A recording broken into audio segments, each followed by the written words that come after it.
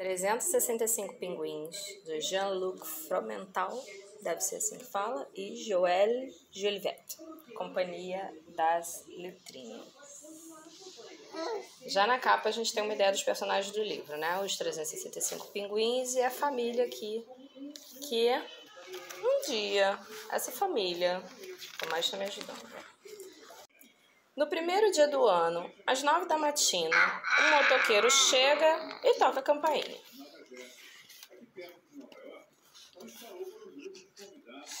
Abre o pacote. Um pinguim. Quem terá mandado um presente tão esquisito?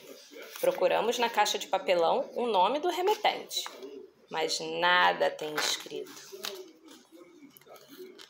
Ei, disse a minha irmã Amanda. Olhem só,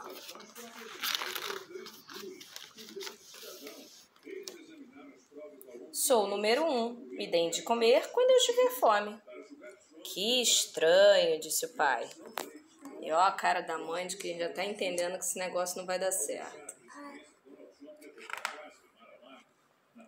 Na manhã seguinte, um segundo pinguim. Na caixa, nem o nome, nem o endereço, nada.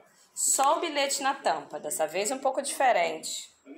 Sou o número 2 e, como número 1, um, preciso que cuidem de mim. As crianças já felizes, com dois pinguins, e a mãe, ó, prevendo o desespero. E no outro dia chega mais um pinguim. E a semana foi passando e vários sete pinguins. E as crianças já vão pensando em que nome que eles vão receber esses pinguins, e a mãe já vai avisando a gente não vai ficar com esses pinguins.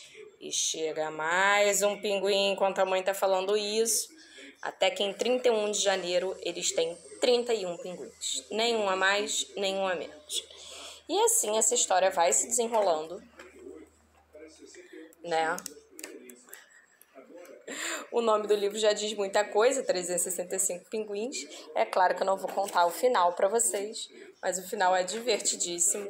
A explicação é ótima pro porquê que essa família está recebendo 365 pinguins.